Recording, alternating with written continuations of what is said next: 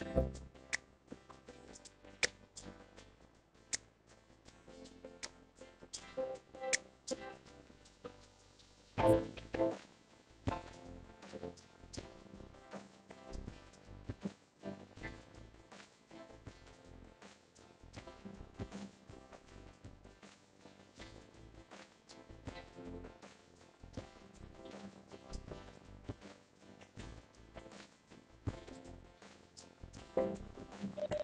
En breve iniciamos.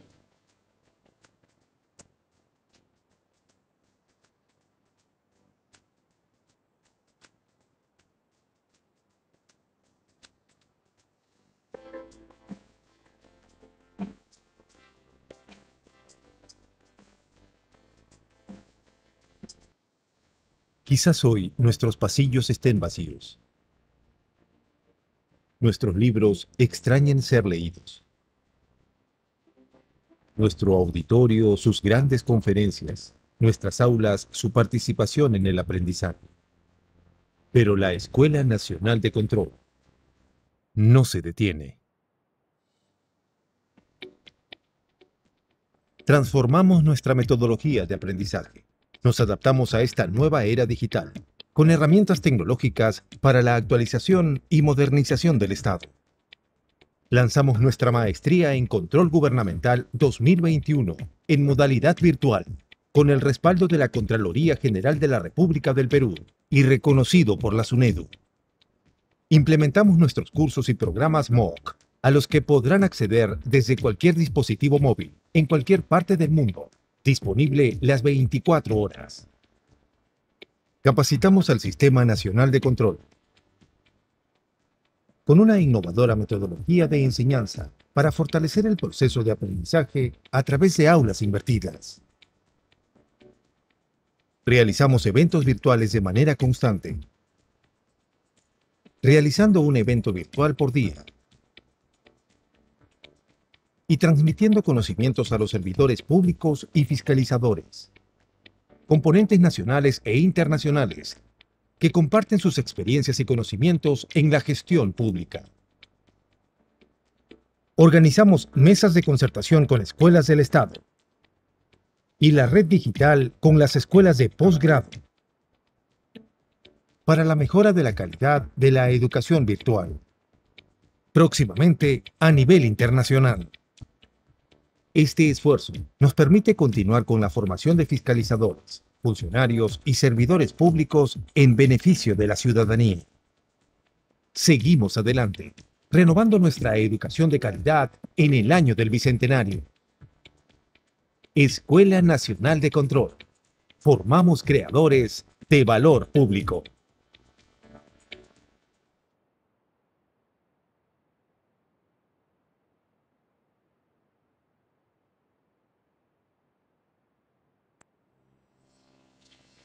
La Escuela Nacional de Control presenta su nuevo programa Actualización y aplicación del control gubernamental. Conoce, actualiza y aplica el marco conceptual, normativo y los procedimientos de los servicios de control que realiza la Contraloría General de la República. Potenciando tu formación profesional para garantizar el correcto y transparente uso de los recursos y bienes del Estado. El programa comprende cinco cursos Marco General del Control Gubernamental. Actualiza tu formación técnica respecto a los conceptos fundamentales del control gubernamental. Marco General de la Auditoría de Cumplimiento. Analiza los aspectos conceptuales y terminología estándar de la auditoría de cumplimiento para la correcta aplicación de las técnicas y procedimientos en la obtención de evidencia de auditoría. Servicio de control simultáneo Identifica y advierte oportunamente las situaciones adversas, evitando se concreticen, en base al marco normativo del Servicio de Control Simultáneo, para el análisis de los hitos de control o las actividades de un proceso en curso. Servicio de Control Concurrente. Fortalece los conceptos y procedimientos del Servicio de Control Concurrente, establecidos en la normativa vigente, promoviendo el apropiado, preventivo y oportuno uso de esta modalidad de servicio de control simultáneo. Servicio de control específico. Identifica las presuntas responsabilidades civiles, penales o administrativas a hechos con presunta irregularidad en base al marco normativo del servicio de control específico, de manera oportuna, puntual y abreviada. Con estas líneas de aprendizaje, se fortalecerán las competencias funcionales y profesionales de nuestros estudiantes y les permitirá incorporar dichos conceptos y procesos en su labor como auditor, funcionario o servidor público. con una duración total de 120 horas académicas. Bajo la modalidad MOOC, un método autoinstructivo que te permitirá interactuar con una gran variedad de recursos pedagógicos como videos, lecturas y evaluaciones, para que obtengas una formación académica de calidad. Al ser de manera virtual, podrás avanzar al ritmo que prefieras y tener acceso a las 24 horas del día, desde cualquier dispositivo online, sin horarios ni obstáculos. De esta manera, el estudiante podrá obtener una experiencia virtual con contenido interactivo para su formación. Al concluir con éxito el programa virtual, recibirás un certificado a nombre de la Escuela Nacional de Control, validando los conocimientos recibidos. Escuela Nacional de Control. Formamos creadores de valor público.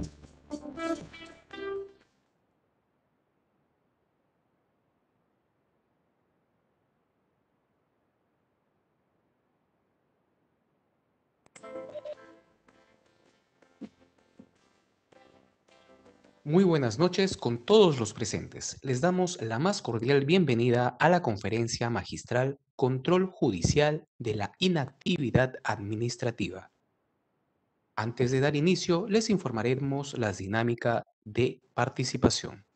Durante la presentación, el público podrá realizar sus preguntas o consultas en el cuadro de preguntas y respuestas, las cuales se les hará llegar al ponente para que éstas sean resueltas al finalizar la ponencia. A continuación, palabras de bienvenida a cargo de José Vargas Ruiz, representante de la Subdirección Administrativa de la Escuela Nacional de Control.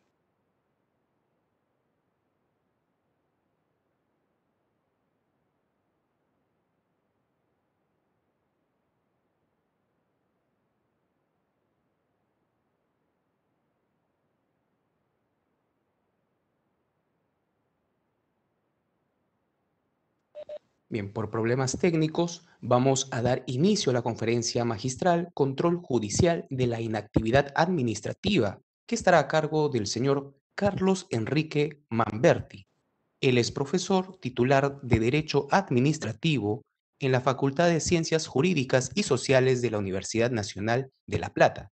Es profesor titular de Derecho Administrativo en la Facultad de Ciencias Económicas y Jurídicas de la Universidad Nacional de La Pampa, profesor de posgrado en la Facultad de Ciencias Jurídicas y Sociales de la Universidad Nacional de La Plata en la especialización de Derecho Administrativo y en la especialización de Abogados del Estado. Además, es conjuez de la Suprema Corte de Justicia de la provincia de Buenos Aires. Es ex director de la Caja de Previsión Social para Abogados de la provincia de Buenos Aires y autor de, artículos de doctrina en derecho administrativo. Le damos el agradecimiento y solicitamos al señor Carlos Enrique Malbert, Manberti dar inicio a su exposición. Adelante, por favor.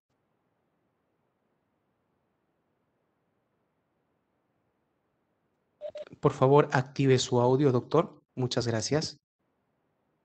Eh, entiendo que lo tengo activado, ¿puede ser? ¿No me están escuchando? Sí, sí, doctor, es correcto, ya lo tenemos activado. Ah. Por favor, su presentación. Bueno, bueno, quería, vuelvo a agradecerle la, presentación, a pesar de las dificultades técnicas eh, de, de, la persona que no ha podido ingresar a la plataforma, también quiero agradecer a todas las autoridades de la Escuela de Control este, por la invitación que me han cursado para participar de, de este ciclo y obviamente a todos y todas las personas presentes eh, en esta oportunidad. El, tema que, elegí, digamos, obedece a, dos razones. Primero porque la idea de control, este, en términos generales, se corresponde con la escuela organizadora de este evento, eh, y segundo porque el problema de las inactividades de la administración pública este, es un fenómeno que, por lo menos en la Argentina, impregna el funcionamiento de las mismas desde hace ya muchos años, o sea, problemas, comisiones, ineficiencias, y ni hablar en esta época de pandemia.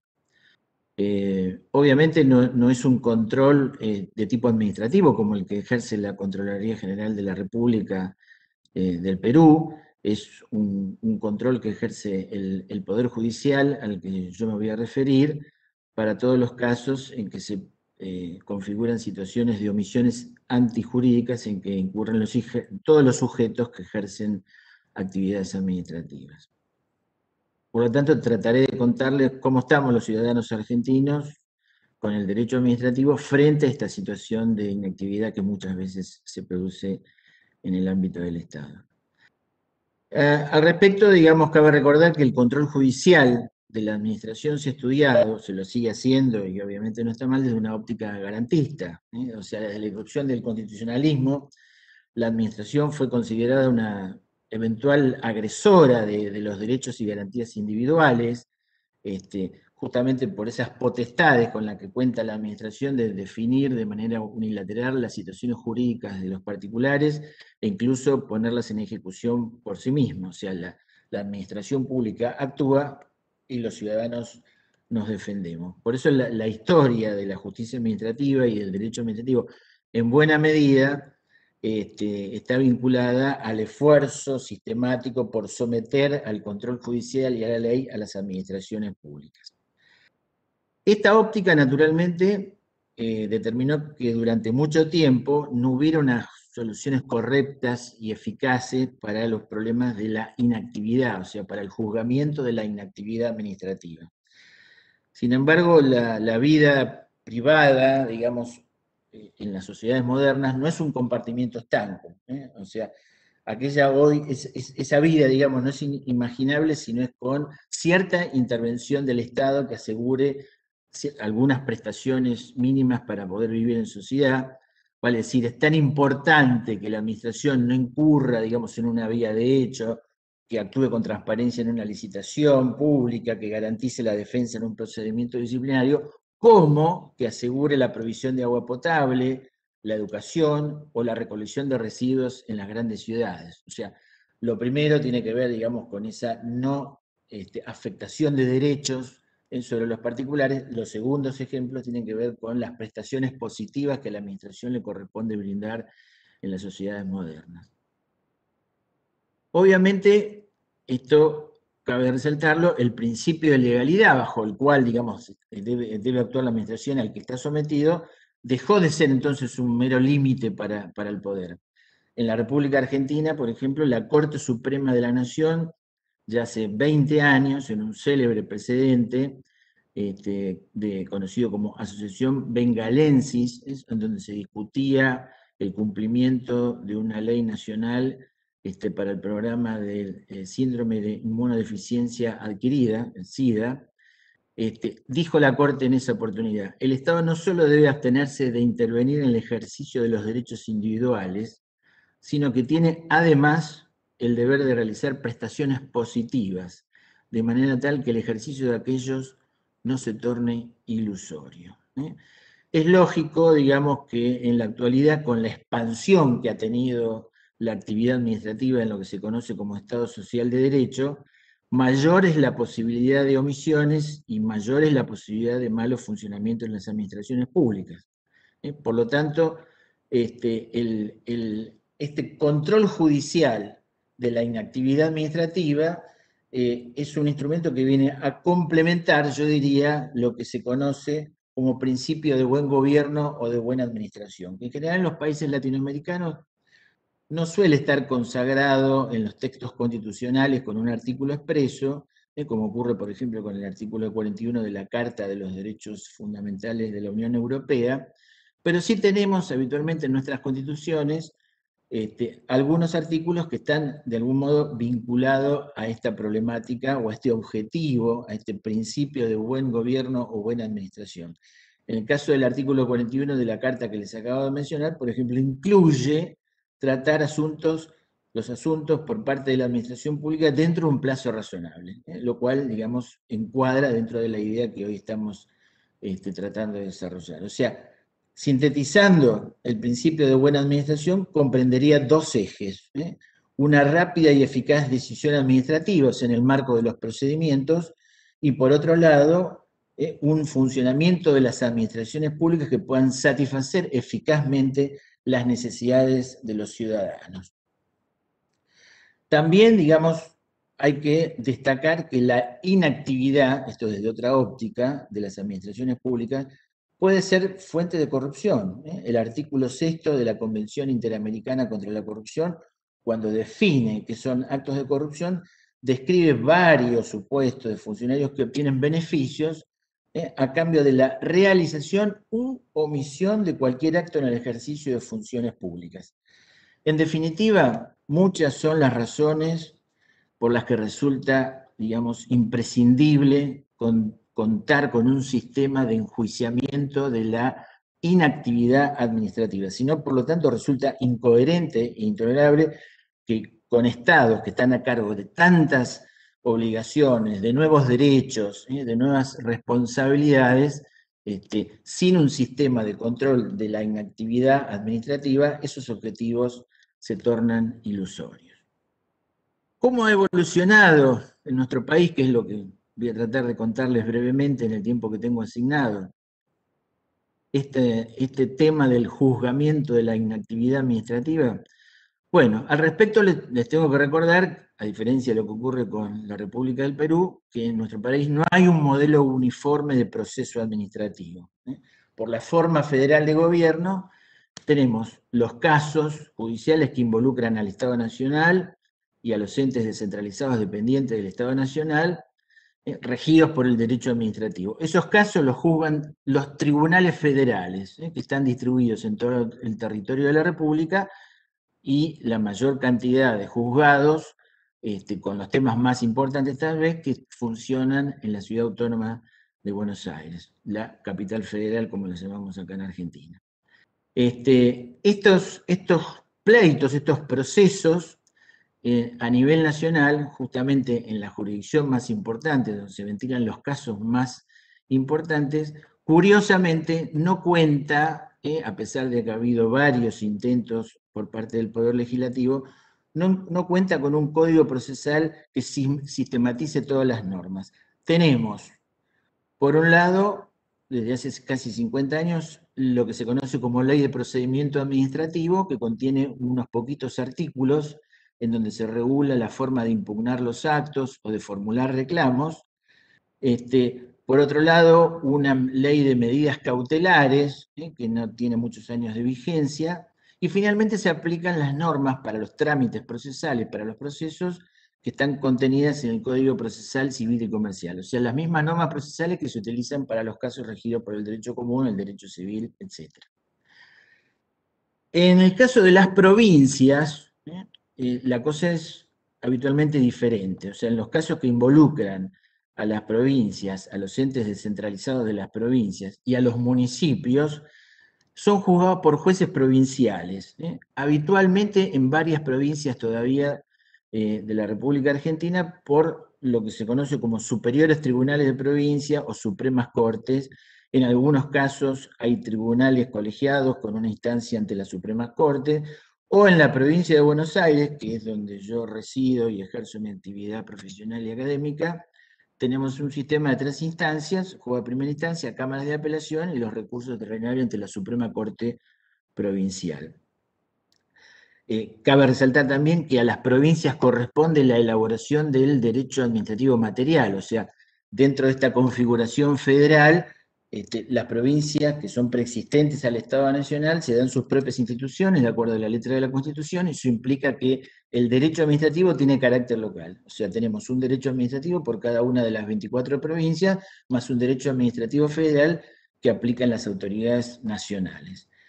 A su vez, en las provincias, yo diría en casi todas, hay un par nada más que son todavía una excepción, eh, tenemos códigos procesales en lo contencioso administrativo, o sea que en las provincias, particularmente en la provincia de Buenos Aires, se han adelantado a la nación. La provincia de Buenos Aires tuvo su primer código, que fue el primer código procesal contencioso administrativo que existió en la República Argentina en el año 1905, que siguió el, modelo de la ley de la jurisdicción contencioso administrativa española de 1888.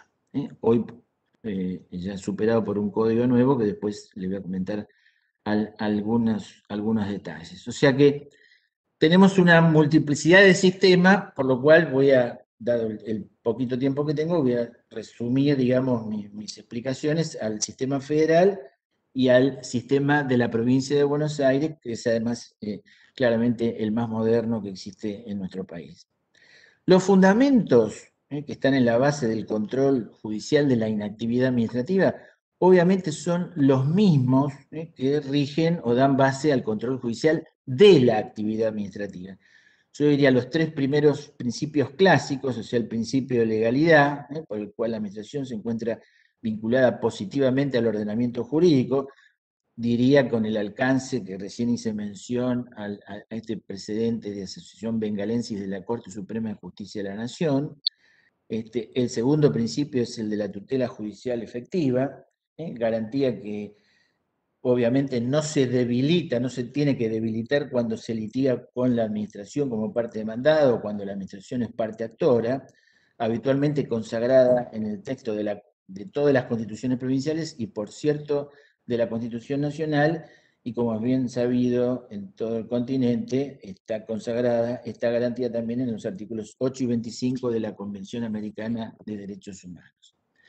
El tercer principio es el sometimiento pleno de la administración a la justicia. En la República Argentina, el, el juzgamiento tanto de la actividad como de la inactividad, sin restricciones ni privilegios, le corresponde al Poder Judicial. O sea, es una actividad que no la ejercen tribunales administrativos al modo del modelo francés. ¿eh? Acá es una actividad de uno de los tres poderes del Estado, el, Poder Judicial. Sin perjuicio de que hay algunos tribunales administrativos para materias muy específicas en donde el legislador ha considerado conveniente que antes de acceder a la instancia judicial se le facilite, pues, repito, en determinados temas, eh, una instancia de, litigación este, más simple, pero que obviamente la Corte tiene dicho que para que sea compatible con ciertas garantías constitucionales, tiene que asegurar el control pleno ante la justicia de las decisiones que se adopten por parte de esos tribunales administrativos.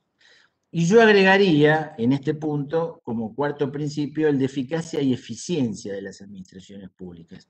Es un objetivo o principio de muchas leyes eh, provinciales y de la Ley Nacional de Administración Financiera y Sistema de Control Público. Este, es el principio de eficacia también está contemplado en las leyes de procedimiento administrativo respecto de los procedimientos que se sustancian en el ámbito de las administraciones públicas. Y en la Constitución Nacional, en la reforma que sufrió en el año 1994, en un artículo vinculado a, la regulación, control eh, y, diseño de los servicios públicos, la Constitución ha puesto en cabeza del Estado Nacional, de las autoridades nacionales, el control de la calidad y eficiencia de los servicios públicos. Regulación que desde mi punto de vista y de muchos otros autores de la materia, este, encajaría, digamos, en todo, no solo en, el servicio público como técnica específica regulada por el derecho administrativo, como actividad económica de interés general, prestacional, sino en todas las actividades del Estado, eh, corresponde, digamos, la, la, necesidad de que sean realizadas con calidad y eficiencia. O sea que sería una cláusula que puede tener un efecto expansivo y que obviamente da fundamento a este tipo de control judicial que hoy estamos analizando.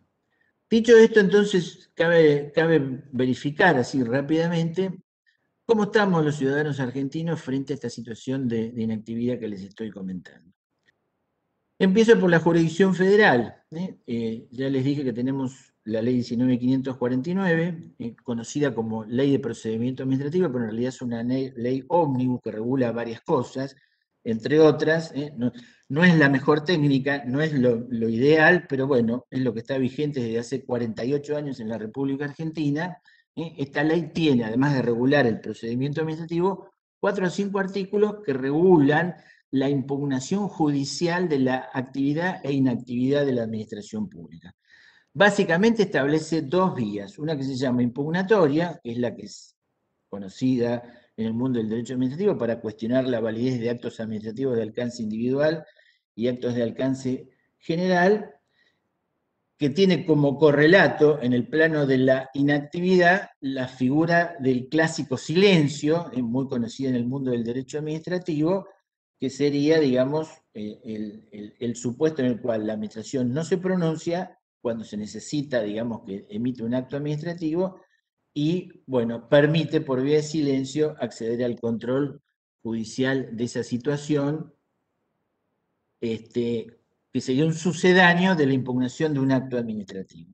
Y después tenemos la vía reclamativa, ¿eh? que es, eh, yo diría, una norma que exige frente a pleitos en donde no se va a discutir la validez de un acto administrativo, sino que se va a reclamar el pago de, un crédito, el, cumplimiento de algún servicio, o donde algún particular le quiere exigir a la administración que deje de incurrir en algún tipo de conducta, en ese caso donde no se cuestiona, repito, la validez de un acto administrativo, se prevé un reclamo previo y después la demandabilidad este, en un proceso ordinario. Esas son las dos vías este, centrales que hay en la jurisdicción federal.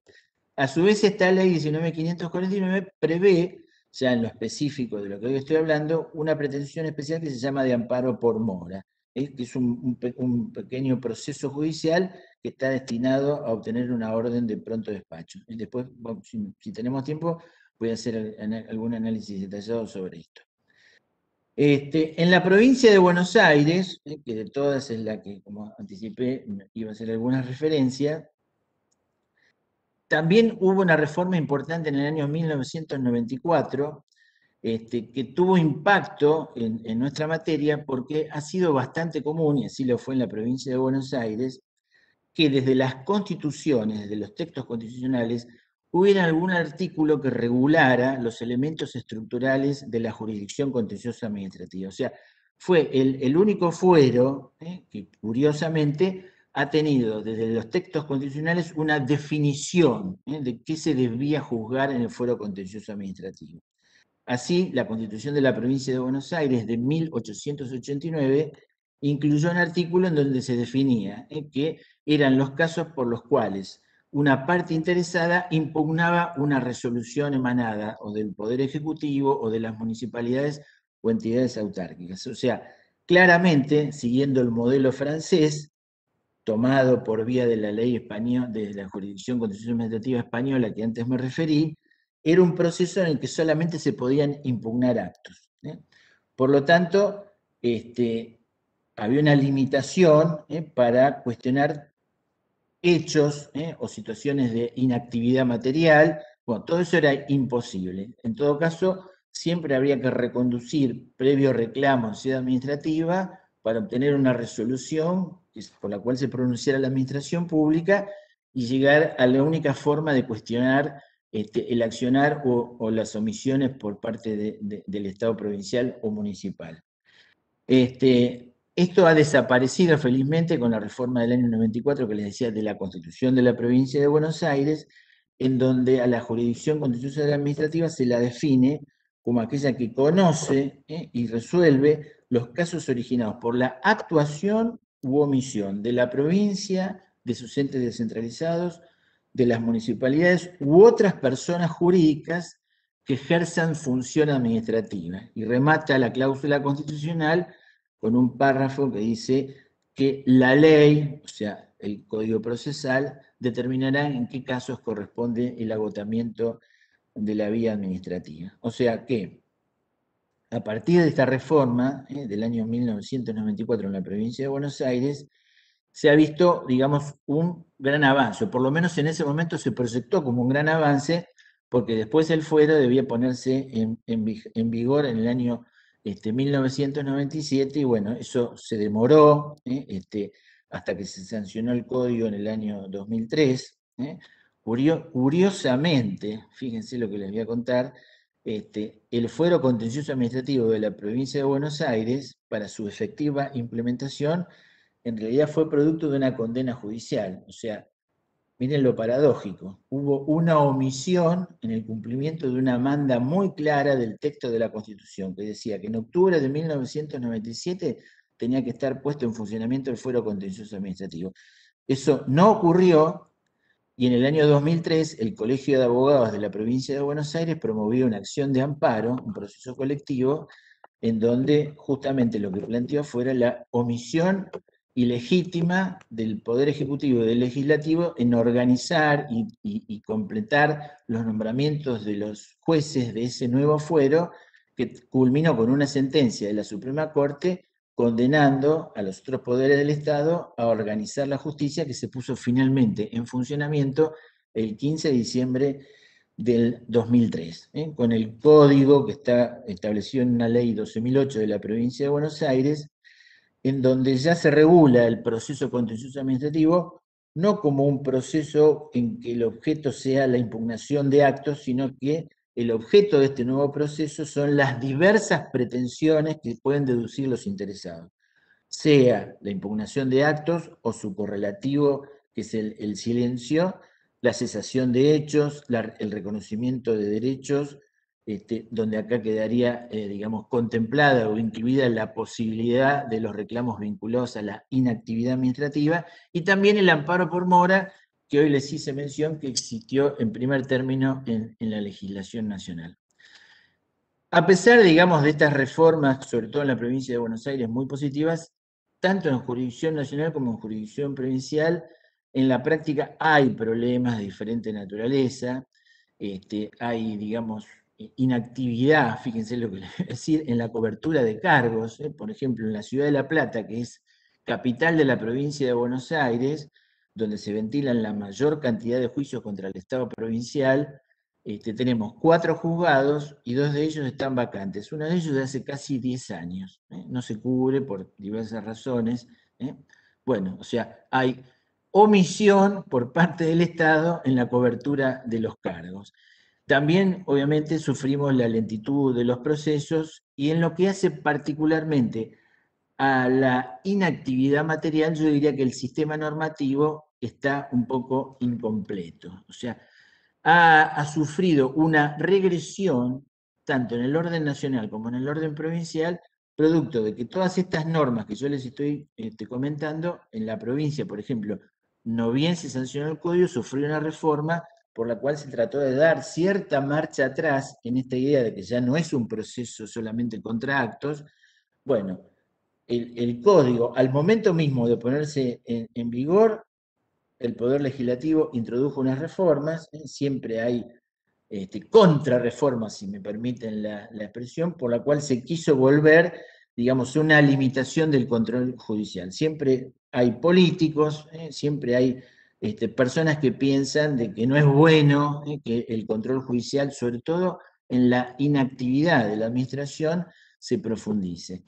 Y de hecho se suprimió una, una pretensión que era muy interesante, este, que era, eh, digamos, se podría articular cuando la administración incumplía con prestaciones concretas y precisas que estuvieran establecidas en el ordenamiento jurídico. Eso directamente el legislador lo suprimió, eh, para que vean, digamos, cuál fue el espíritu cuando se articularon estos nuevos sistemas. Bueno, eh, entrando, digamos, en, el análisis de las pretensiones que podemos los ciudadanos argentinos articular frente a las distintas situaciones de, inactividad, este, vale la pena recordar que en general la doctrina establece una situación de actividad o inactividad formal y de actividad o inactividad material. O sea, distintos tipos de relaciones jurídicas que se pueden dar entre los particulares y la administración. Por ejemplo, para que se entienda lo que estoy diciendo, una empresa constructora que pide una redeterminación de precios en el marco de un contrato de obra pública, si no se resuelve, ahí lo que tenemos es un problema de inactividad formal, en el marco de un procedimiento administrativo, de un expediente, como decimos habitualmente acá los abogados.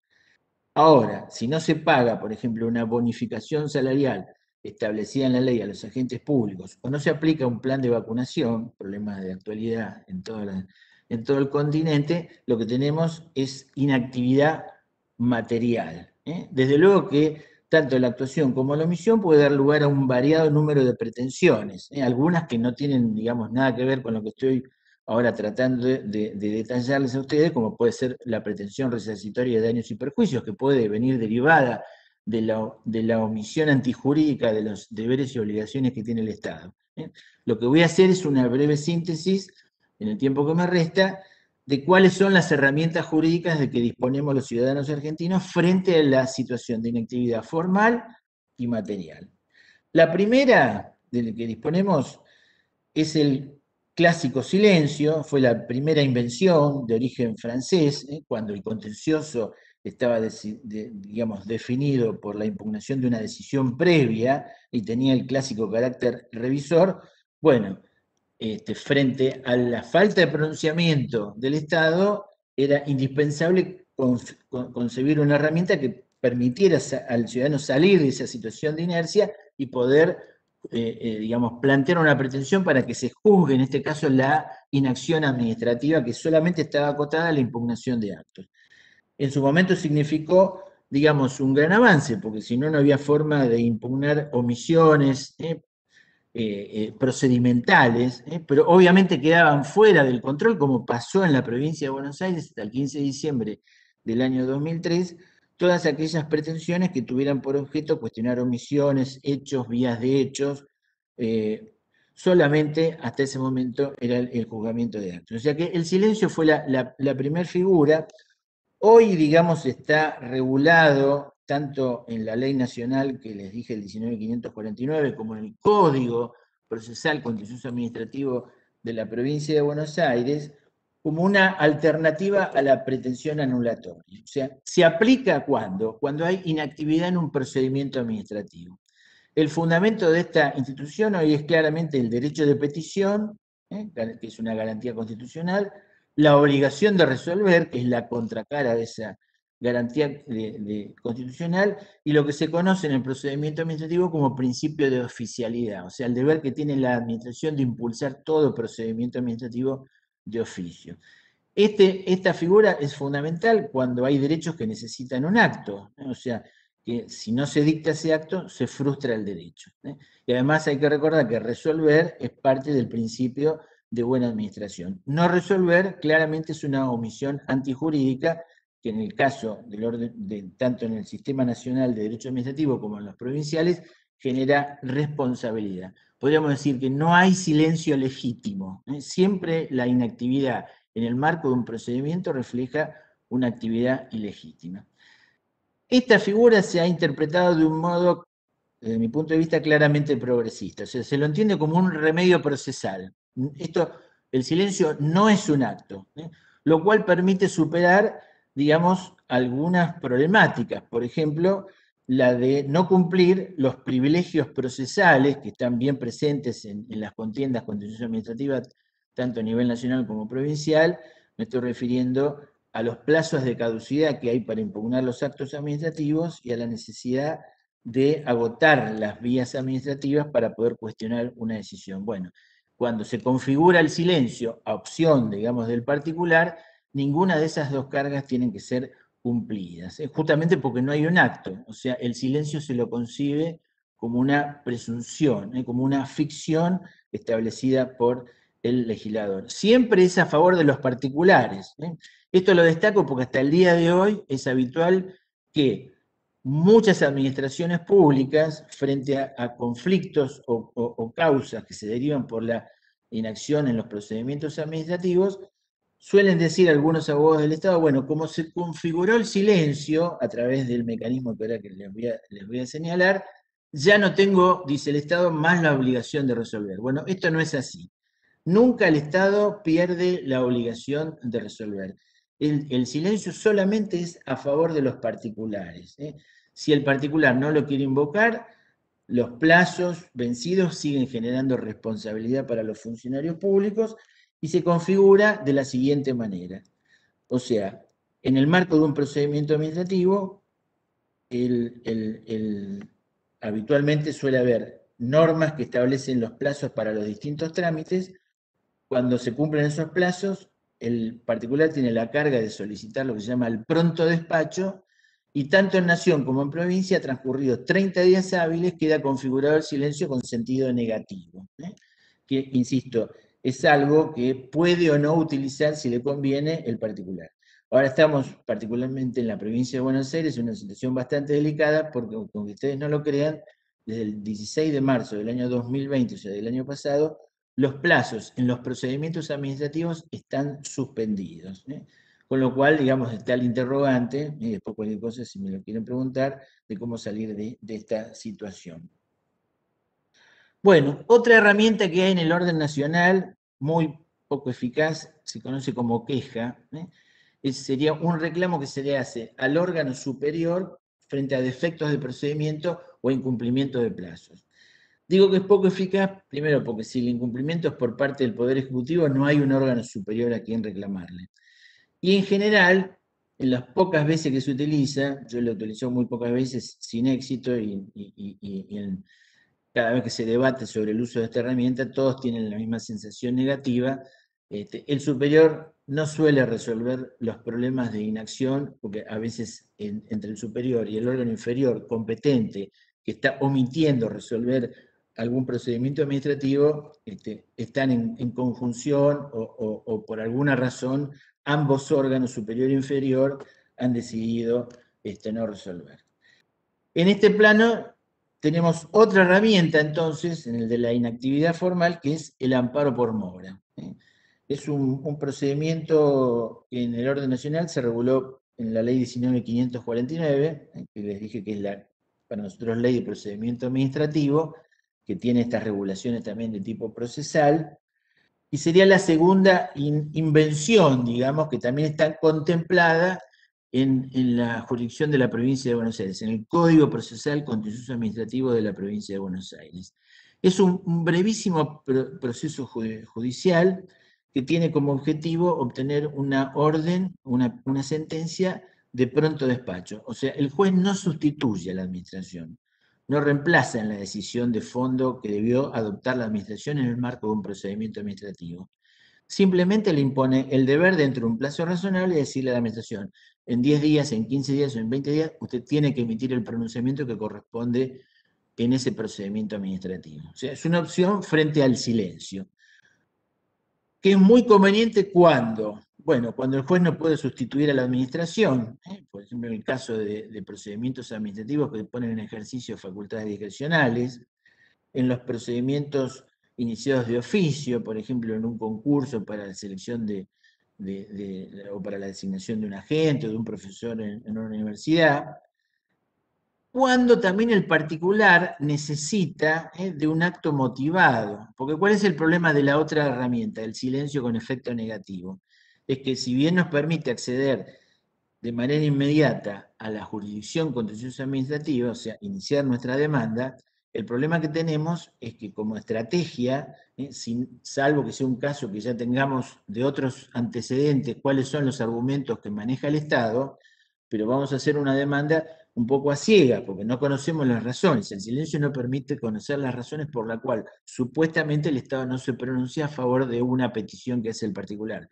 La bondad de esta herramienta, en donde el juez obliga a la administración a pronunciarse, es que vamos a conocer a través de un acto expreso este, cuál es este, la idea o los fundamentos o las razones si es que estas eran, o si, no era una situación de mero incumplimiento, que también muchas veces se presenta, pero vamos a conocer las razones de por qué el, Estado está negando, digamos, este, un, pronunciamiento favorable. Es un trámite muy sencillo, eh, el del amparo por mora, están legitimados para iniciarlo todos aquellos que son parte de un procedimiento administrativo, es un, un, procedimiento en el cual el juez una vez iniciado le pide un informe al, Estado, este, a la autoridad demandada, eh, para que informe sobre las razones de la demora, y en función de lo que informa la autoridad de la demanda, inmediatamente hace el pronunciamiento judicial o desechando la demanda si es que está justificada la demora, o condenando al, organismo demandado a que en el plazo que le fija razonablemente el juez este, emita el pronunciamiento han quedado comprendidos dentro de esta herramienta infinidad de casos, ¿eh? Eh, desde la expedición de reglamentos, o sea, es, eh, no digo habitual, pero en no pocos casos hay en donde se dictan leyes, donde el Poder Legislativo dicta leyes que requieren para su correcta aplicación de la reglamentación por parte del Poder Ejecutivo, de organizar una oficina en el ámbito del Poder Ejecutivo, que si el Poder Ejecutivo no lo hace, la ley queda frustrada. ¿eh? Bueno, en esos casos se ha admitido, hay un fallo reciente, no de la provincia de Buenos Aires, sino de otra provincia argentina, en donde se admitió el amparo por mora justamente para obligar al Estado provincial, al Poder Ejecutivo, a que reglamentara una ley muy importante que no la ponía en, ejecución. Obviamente se requirió que los interesados, eh, previamente en un procedimiento administrativo, le solicitaran al Poder Ejecutivo que reglamente la ley, no lo hizo, promovieron el amparo por mora y la justicia condenó en ese caso. Bueno, eh, porque ya me queda muy poquito tiempo, eh, la inactividad material yo diría que es el, núcleo del problema, es donde estamos, por lo menos en la República Argentina, con las mayores complejidades. ¿eh?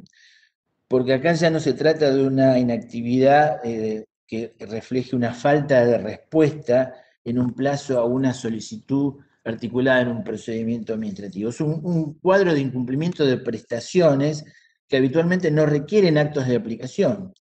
¿eh? Eh, es eh, una situación en la cual el Estado se encuentra obligado por una ley, por un reglamento, por un contrato o por un acto individual que no cumple, que requiere una prestación o una operación material. En general, ¿qué se cuenta en la República Argentina? Con, bueno, con la, para mí, evanescente figura del defensor del pueblo, eh, digo, la califico de este modo porque en el orden nacional hace 10 años que el cargo no se cubre, lo cual refleja o da un reflejo muy claro de lo que piensan las autoridades sobre esta figura, a pesar de que tiene rango constitucional, con, el, con el no menos inútil derecho de petición, o sea, se pueden pedir cosas, pero si el Estado no las quiere cumplir, no, no es una correcta solución. Y bueno, frente a la inacción del Estado, muchas veces las soluciones no son las jurídicas, sino metajurídicas, ¿eh? presiones políticas, vínculo con amistades, este, tráfico de influencia, cartas a los periódicos, en fin, y hasta situaciones muchas veces de, violencia colectiva. Con lo cual, digamos, ¿qué quiero señalar con esto? La importancia que tiene de instrumentar este, soluciones normativas para lidiar contra la, inactividad material de la administración, sobre todo para todo lo que tiene que ver con derechos económicos y sociales, que son los que caracterizan a nuestros estados en tiempos modernos. Claramente, en mi opinión, en la República Argentina hay un atraso normativo, una insuficiencia y, repito, hasta un retroceso, ¿eh? porque las leyes vigentes han tenido, como dije hace un rato, una especie de contrarreforma, eh, para dificultar el acceso a la justicia en determinados casos, este, particularmente en el supuesto de la inactividad material. ¿eh? En, el orden nacional, por ejemplo, la, que les denominé como vía reclamativa, se le asignó, digamos, a la figura del silencio en esa vía reclamativa, este, la necesidad. Que finalmente después fue revertida por la Corte Suprema de la Nación, la necesidad de que una vez configurado el silencio en esa vía, había que iniciar la demanda en un plazo de caducidad de 90 días.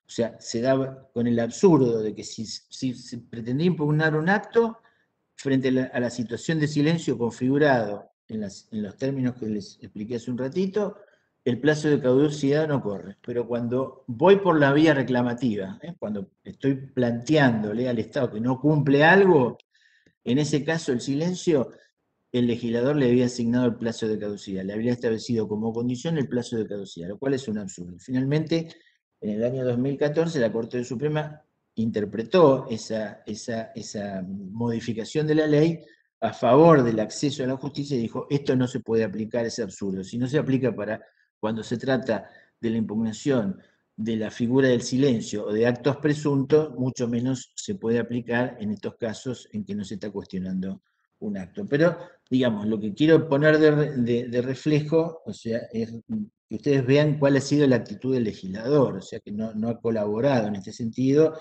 y nadie habla en la Argentina de modificar estas normas. Algo parecido ocurrió en la provincia de Buenos Aires, cuando se puso, como les conté hace un ratito, en vigor el Código Procesal Contencioso Administrativo, inmediatamente sufrió una reforma por la cual se suprimió una pretensión que establecí, eh, digamos, de cumplimiento de prestaciones precisas y concretas establecidas en el ordenamiento jurídico fue suprimida directamente por, por, el, legislador.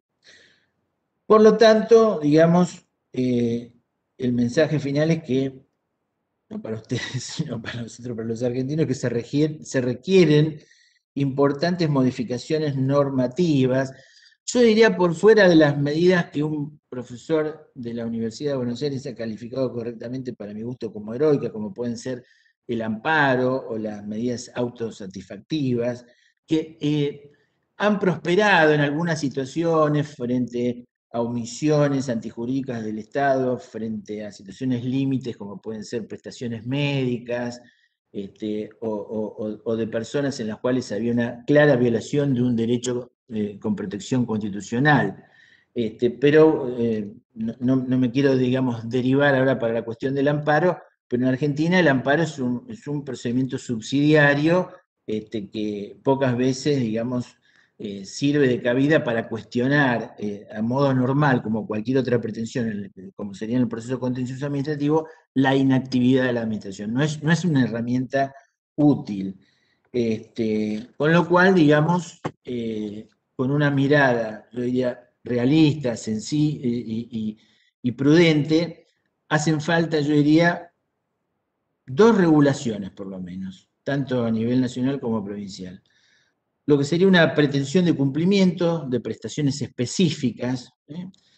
cuando este, se producen inactividades o omisiones en relación a derechos ¿eh? cuya existencia o perfeccionamiento no requiere de un acto administrativo. ¿eh? La obligación que surge de un contrato administrativo, un contrato de obra pública, como puse el ejemplo, el Estado no paga, bueno, debería haber un proceso judicial sencillo por omisión este, eh, que facilite el acceso a la justicia. Tal vez algo semejante, en esto me siento un poco atrevido porque estuve mirando un poquito la legislación peruana y vi que, por ejemplo, tienen ustedes un proceso urgente en el artículo 25 de la ley 27854 del proceso contencioso administrativo para inercias o omisiones de la administración pública. ¿eh? Procedimiento brevísimo, sencillo, la verdad me llamó la atención. Este, y lo otro que necesitamos es una pretensión ejecutiva de actos favorables. ¿eh? También algo semejante, pido mil disculpas eh, si estoy interpretando mal las normas de la República Hermana del Perú, pero ustedes tienen el artículo 200, inciso sexto de la Constitución Política del Perú, una, acción de cumplimiento, también de trámite muy sencillo, ¿eh? que está regulado en lo que se conoce como Código Procesal Constitucional, este, que tiene, digamos, el trámite del amparo, ¿eh? donde hay que hacer una reclamación y si en 10 días no hay un procedimiento, queda habilitada esa, acción judicial. La verdad que son eh, dos instrumentos que ustedes tienen que muy bien nos vendría que se legislara en la República Argentina. Que creo, digamos, estamos bastante lejos porque obviamente nadie habla de estas cosas en estos tiempos. ¿eh? Finalmente, y para cerrar ya, en mi opinión, la batalla final contra lo que Eduardo García de Enterría llamó las inmunidades del poder sería necesario, además de estas reformas que les acabo de apuntar, eh, la supresión para mi gusto de lo que se conoce como el agotamiento de la vía administrativa, que está regulado en el derecho peruano, según he podido ver, y los plazos de caducidad. O sea, en mi opinión, las vías recursivas o las vías reclamativas deberían ser opcionales y debemos ir a, un juzgamiento sin más de casos ¿eh? por acción o omisión que involucren a los estados ¿eh? en, todos aquellos pleitos regidos por el derecho administrativo. O sea, como cualquier otro caso judicial, con la única diferencia que se ventila en un foro especializado porque se aplican normas especiales como son las del, del derecho administrativo.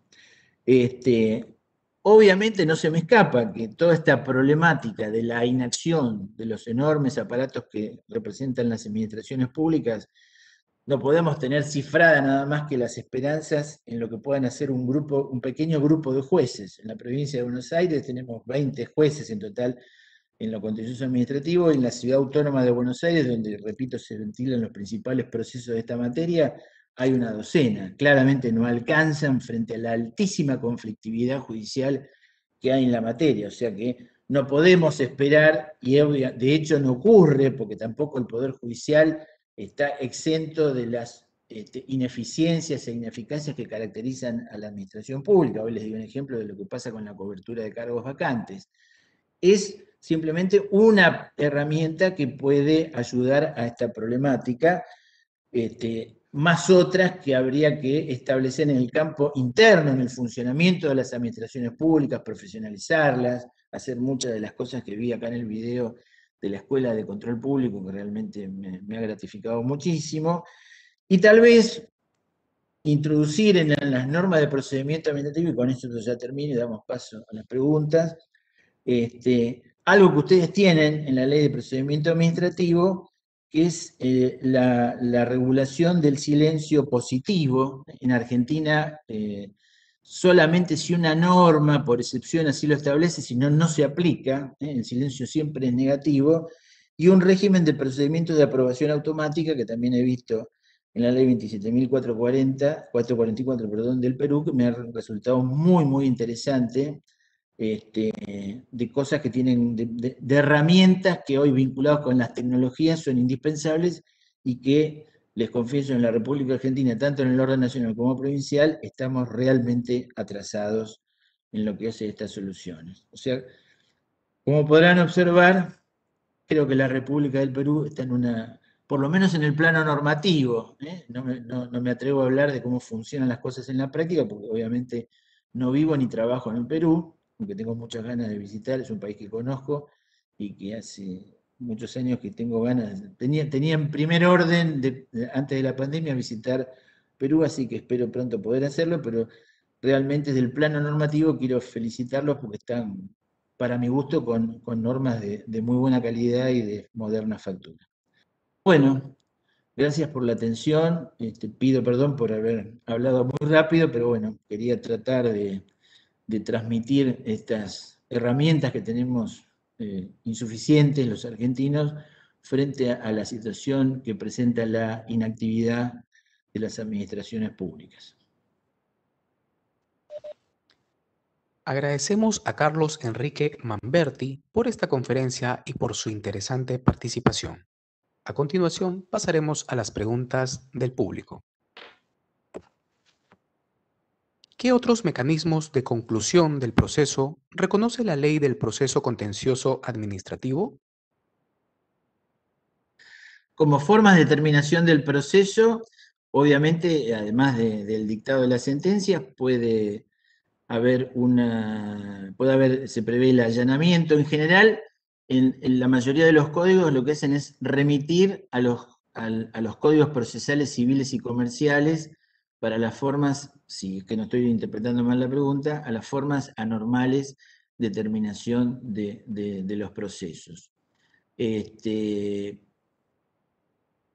en cuanto a la ejecución de la sentencia, este, en el caso de la provincia de Buenos Aires, este, los jueces tienen amplios poderes con fundamento en una cláusula constitucional para llevar adelante sus, pronunciamientos. ¿eh?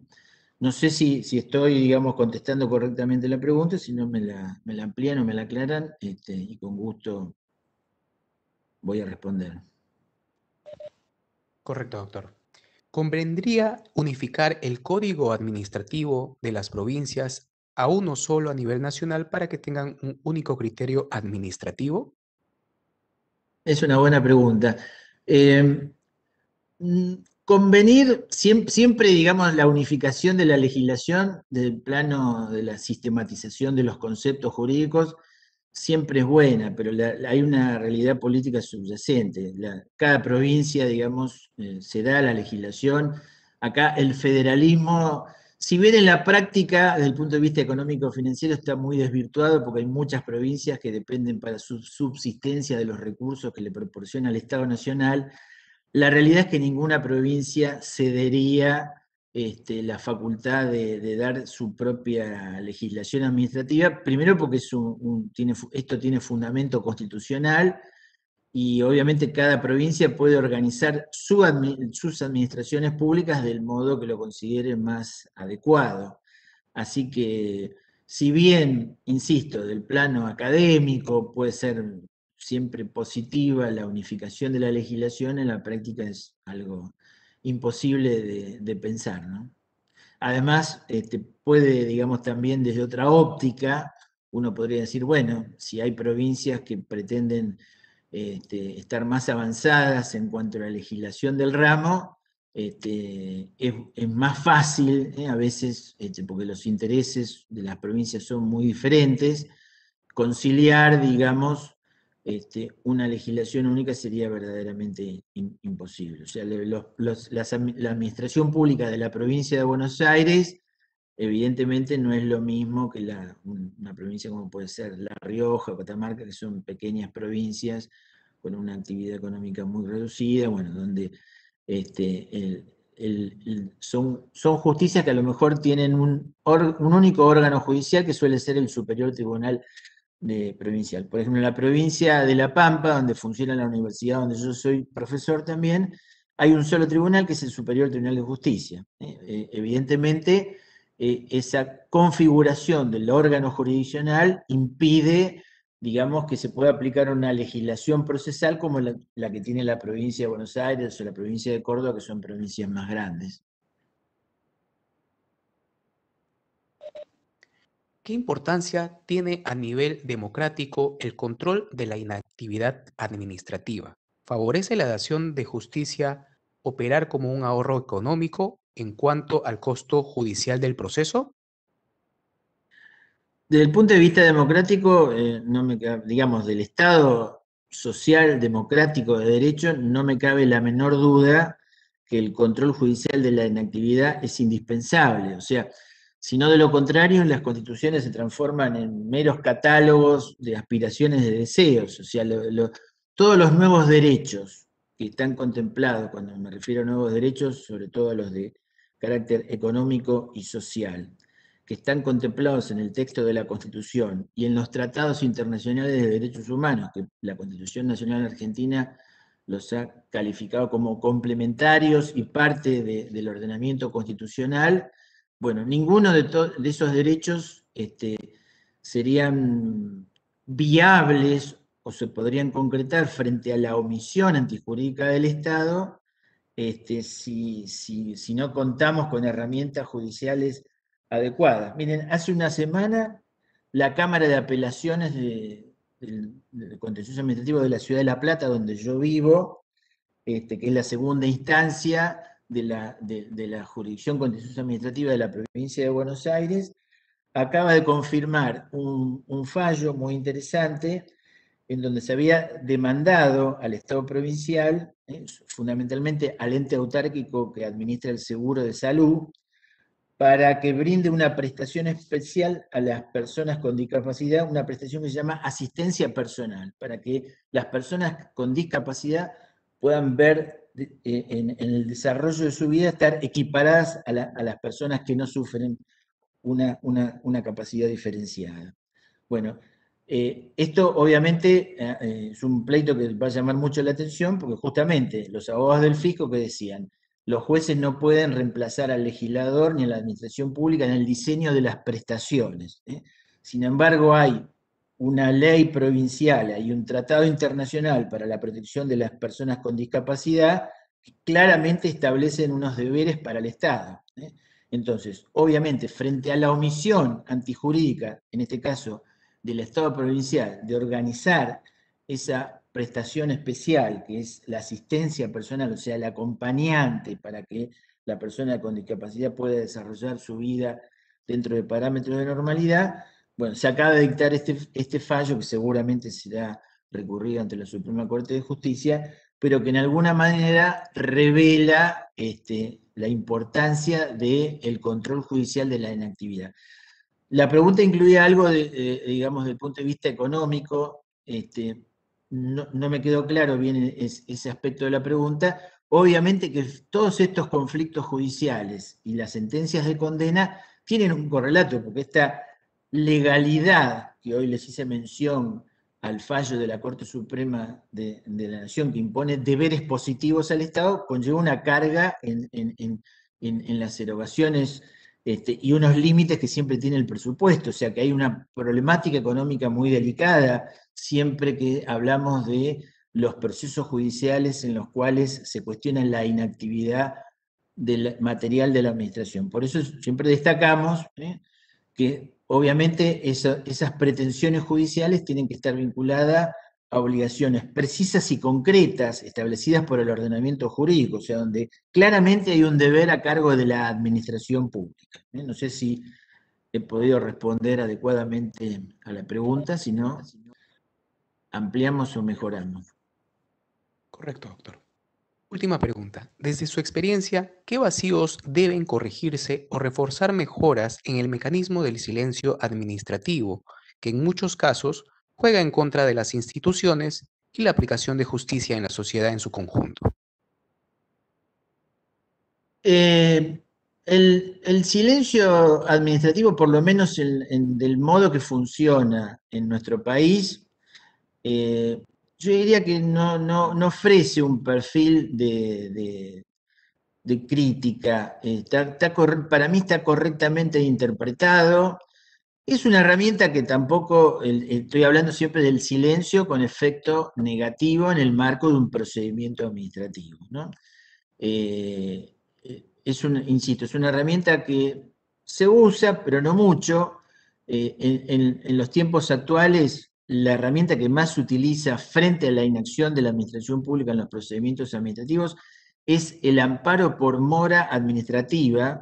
Yo a lo mejor, eh, no sé si en Perú esto está especialmente regulado, yo no lo, pude encontrar en, digamos, en una visión que quise hacer de abuelo de pájaro de las principales normas de la República del Perú, este, pero hoy es lo que más se utiliza, o sea, en general los operadores jurídicos lo que buscan es un pronunciamiento de la administración expreso en donde se puedan conocer las razones por las cuales o no resuelve favorablemente una petición o finalmente la resuelve, si a veces esto no ocurre simplemente por la inacción o la inercia de los aparatos este, burocráticos. ¿eh? Pero eh, yo diría que desde el punto de vista de cómo está legislado y cómo está interpretado el silencio con efecto negativo, en la República Argentina no es lo que más necesita, digamos, no, no, habría, digamos, necesidad de reformularlo.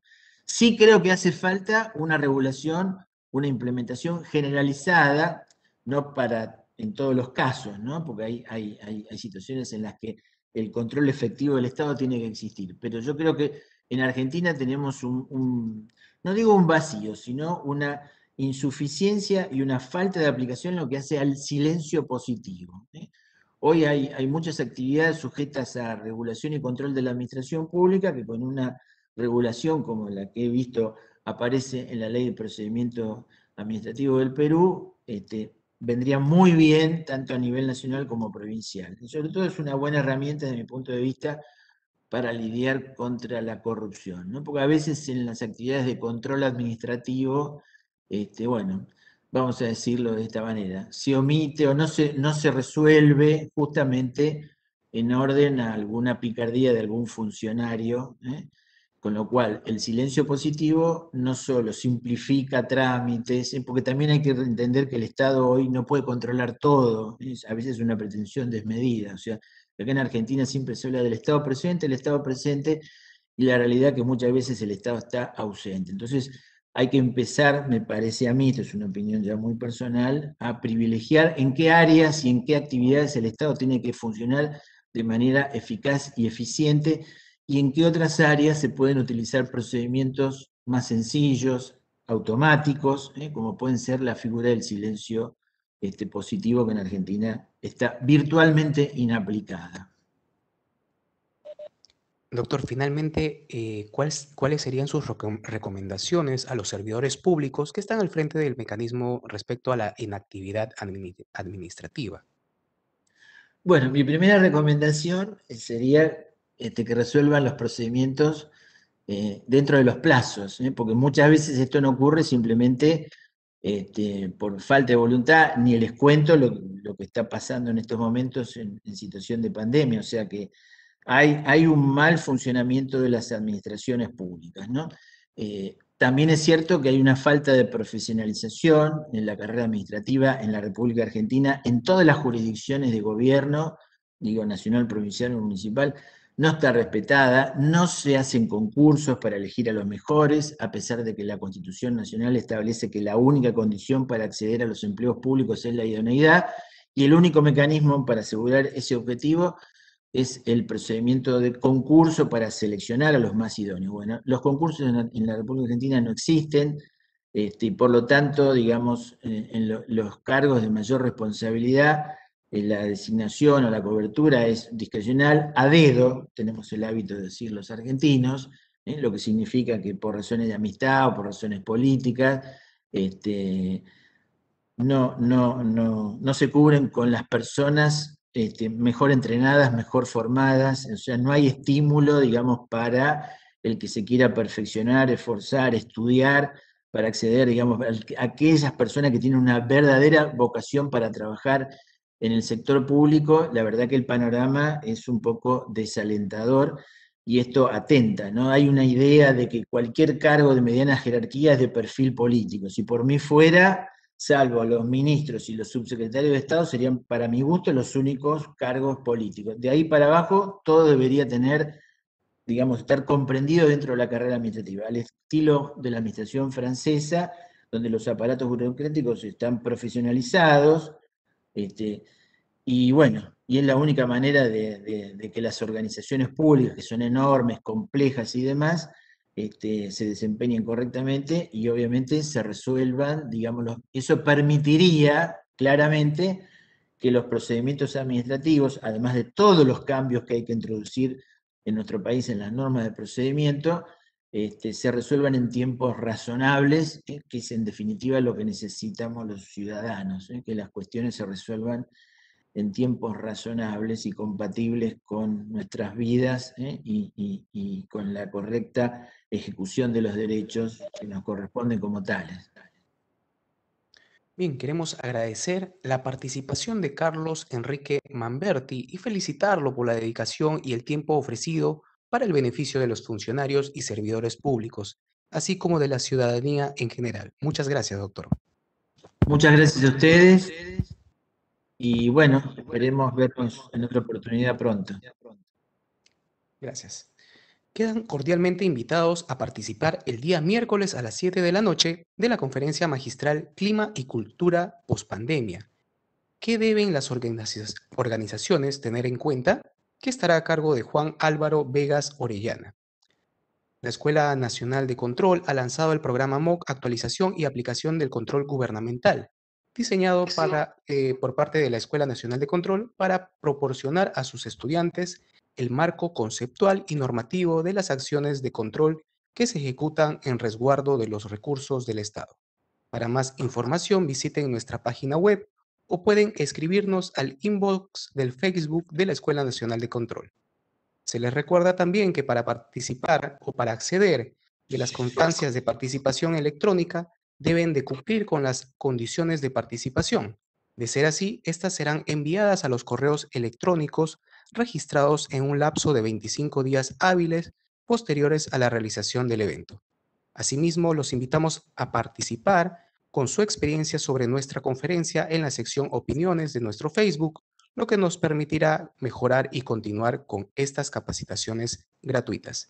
Que tengan todos ustedes muy buenas noches. Hasta pronto, adiós.